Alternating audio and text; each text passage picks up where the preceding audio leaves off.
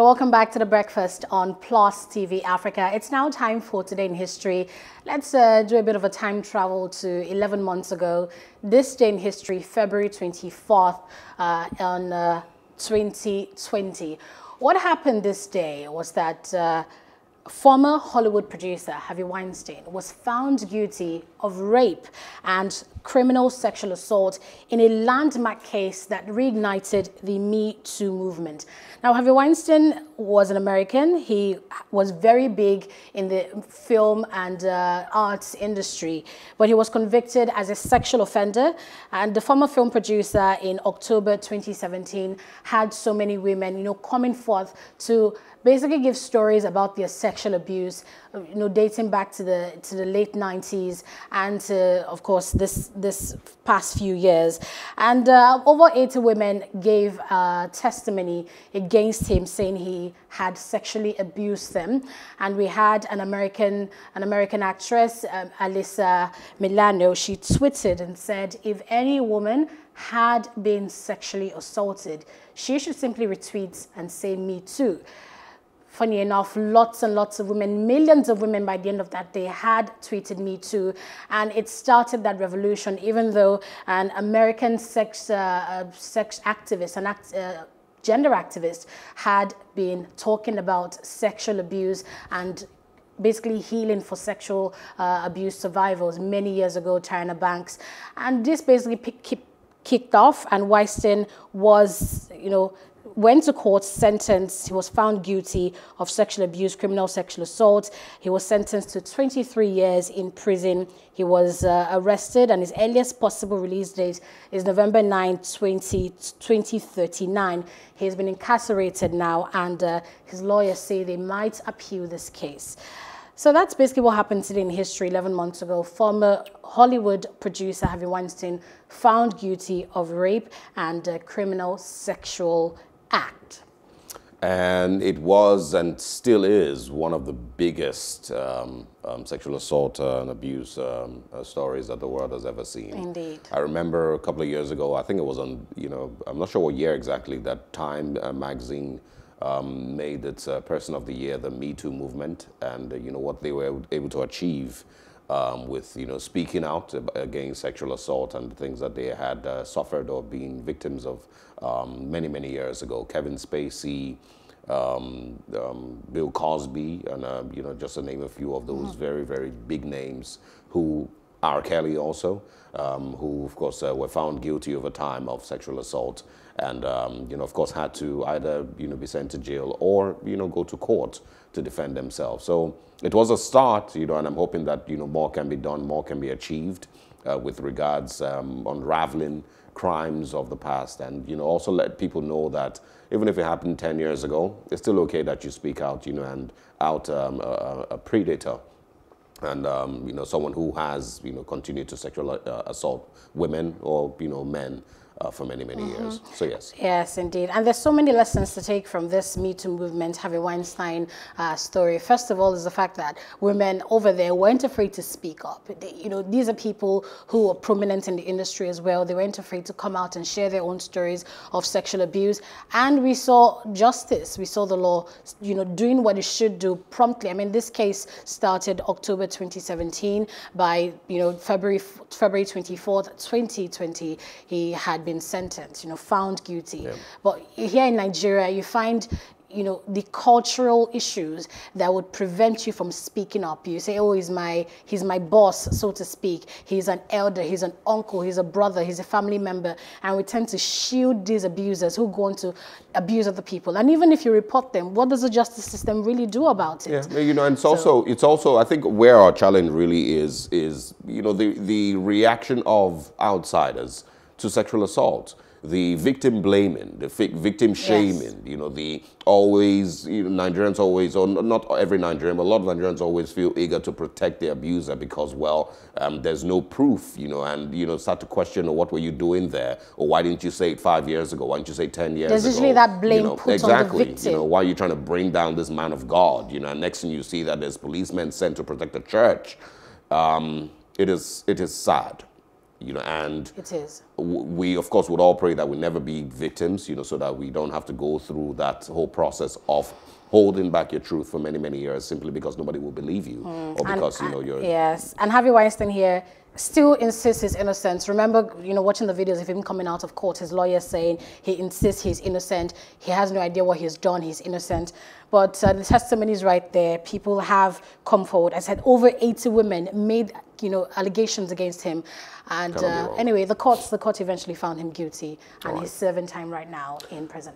I'm going back to the year 2008. Um, he is one of the most popular names in, in governments across the world. In North American country, Cuba, he goes by the name Fidel Castro. Um, it was on this day in 2008 that he officially retired as the president of Cuba after being in power for about 46 years. Um, he was, um, of course, uh, um, um, also held power for about 32 years and then head of the Council of Ministers for a couple of other years. He was a Cuban revolutionary and politician who served as Prime Minister of Cuba from 1959 to 1976 and then President from 1976 to 2008. He was also the first Secretary of the Communist Party of Cuba from 1961 until 2011. Um, of course, under his administration, Cuba became a one-party communist state. Um, all industries and businesses were institutionalized and uh, were nationalized, rather and um, state and socialist reforms were implemented throughout society. Um, there was so much controversy about um, his rule and his person and how he was, you know, called a dictator, described as a di- dictator. Um, some people agree, some people didn't. Um, but you know, over time, you know, and after being in power for so long, he eventually uh, went um, underwent surgery for intestinal bleeding in 2006, and since his health seemed to be failing, he delegated um, his responsibilities as president to his brother. Um, it basically was a one-party system. It, it was a what they call a rubber stamp um, National Assembly that they had back then, and so his brother basically, you know, didn't have any issues taking over power. Um, in 2007, Raul, his brother, announced that Fidel's health was improving and was taking part in important issues of government. But of course, um, a lot later, in 2008. Castro announced that he would not accept the positions of President of the Council of State and Commander-in-Chief in that month's National Assembly uh, meetings. It went on and on and on until his um, eventual death after his health deteriorated. Um, but it was um, the end, a very slow end to um, one of the most popular um, heads of state um, and presidents in, in you know, world politics and history. Yes, Fidel, Fidel Castro's story is very intriguing for students of history because when you look back at how the United States exerted its influence in the world, you find out Fidel Castro was one of the people who stood up to the United States influence. And he led that revolution 1959, I believe, you know, unseated that uh, president, the ninth president of Cuba at the time, eventually made headway with his 26th of July movement. And uh, he basically opposed everything that the former president stood for. He, all the lands that the former president had sold off, you know, to foreigners, Fidel Castro began to give them out to began to give them out to locals, you know, Cubans. Cubans. And Cubans praised him as a revolutionary. He, he was seen as a liberator of the people. But Americans would, you know, argue otherwise, call him a dictator. I mean, he ruled for over 40, for about 49 years. There were 10 American presidents, you know, In that went space. in and out of power while Fidel Castro was there in the in, in the U.S. And there was just so much assassination attempt on him. I remember one, you know, reading one of his, his quotes, and he said that if there was an there was an award for the most assassinated for someone who had been the target of the most the most assassination attempt, that he would win he would win that award because there was so much assassination. He was targeted. You know, the U.S. tried to target him with one of his ex-girlfriends. To, they tried to lace his radio studio because he was very vocal.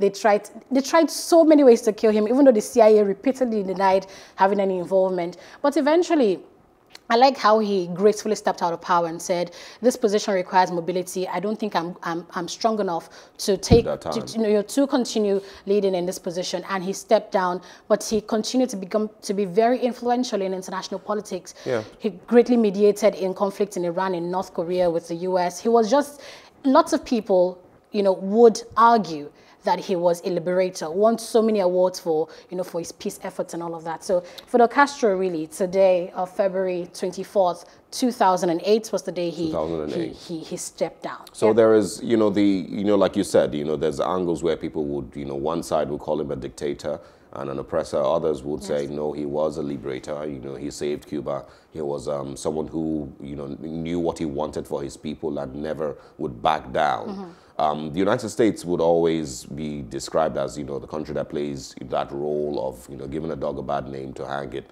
or to kill it and they've done it in many, many, many um, other countries. Yes. You know, and even yesterday when I was reading through these stories, I was really just thinking, um, why you know does the U.S. have that much power? Um, why don't we have Cuba being sanctioned by, you know, um, uh, the United Nations or some of the, you know, some of all these. No, they're, um, they're sanctioned. They're sanctioned Cuba, but mostly yeah. influenced by the United States, and that's that's where the challenge is. The same way when the U.S. wanted to go to war with Iraq, um, there was a lot of people who said, no, this wasn't necessary, but they still went ahead to do it. The United Nations didn't agree with it, but they still went ahead with, you know, with the war um, in Iraq. Mm -hmm. Now there are regrets over that war. There are people who say, oh, you know, we made a mistake and all of that. But same stories, same thing with Zimbabwe um, and um, sanctions, you know, just mm -hmm. to mm-hmm. cripple the economy and cripple the, you know, the country and force um, a leader's hand. But Fidel Castro was one person that survived, like you said, many, many, many years of that same, um, um, um, you know, I remember one of the U.S. presidents say, you know, reacting to, you know, his, his illness, he said he had an intestine disease.